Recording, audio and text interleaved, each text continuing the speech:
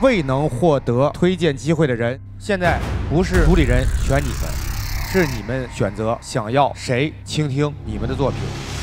我希望咱们一起做能够红的歌。我希望是接地气，能让大家听得懂的音乐，不要完全背离我们的市场。我不 diss EDM，但是你做的电子如果特别的商业的话，我也许不会考虑。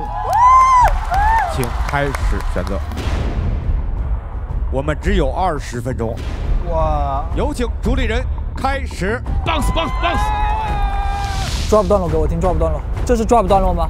张艺兴老师、大张伟老师有三名推荐人名额，邵文杰老师有两位。我去，这很不公平。凭什么他们有三个，我只有两个？你们欺负小众音乐，你们知道吗？我就觉得很凄凉，真的有很多人他们甚至没有表演到